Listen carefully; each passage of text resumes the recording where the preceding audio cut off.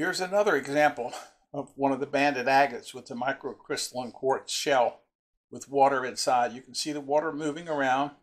This one has lost a good bit of water. It has some cracks in it and water has come in and out.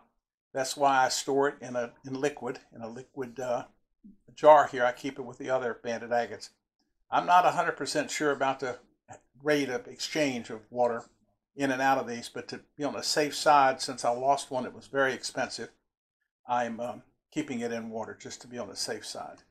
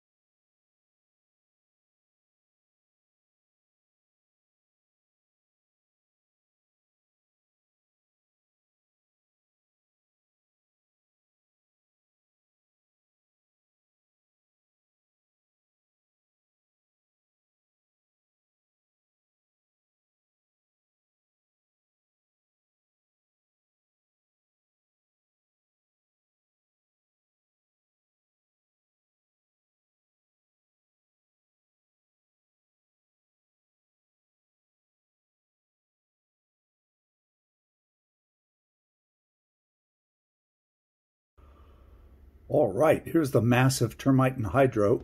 Excuse me. You can see there's no problem seeing this bubble move.